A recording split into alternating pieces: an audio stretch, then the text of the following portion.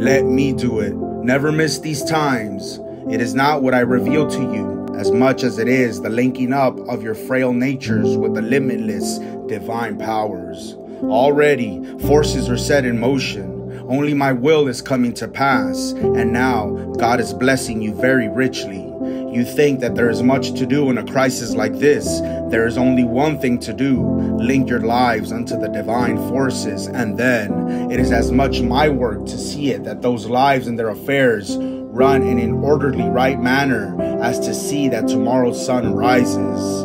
It is not passionate appeal that gains the divine ear, so much as the quiet placing of the difficulty and worry in the divine hands. So trust and be no more afraid than a child would be who places its tangled skein of wool in the hands of a loving mother and runs out to play pleasing the mother more by its unquestioning confidence than if it went down on its knees and implored her help, which would pain her the rather, as it would imply she was not eager to help when help was needed.